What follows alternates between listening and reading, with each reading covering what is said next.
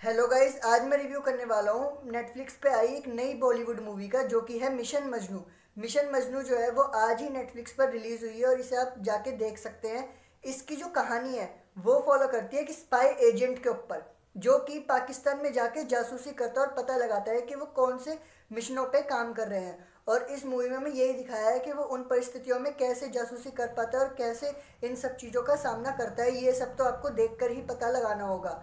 और ये ओवरऑल अगर मैं इस मूवी की बात करूँ तो ये मूवी एक बहुत ही इंगेजिंग और एक इमोशनल मूवी है, जो आपको बिल्कुल भी मिस नहीं करनी चाहिए। और अगर मैं इस मूवी को टेन में से रेटिंग दूँ तो मैं दूँगा इसको सेवन आउट ऑफ़ टेन और गाइज़ अगर आपको मेरा वीडियो अच्छा लगा हो तो प्लीज़ लाइक एंड सब्सक्राइब कर देना, ताकि मेरे को और मोटिवेशन मिले और मैं आपके लिए नए नए वीडियोज़ ला सकूँ।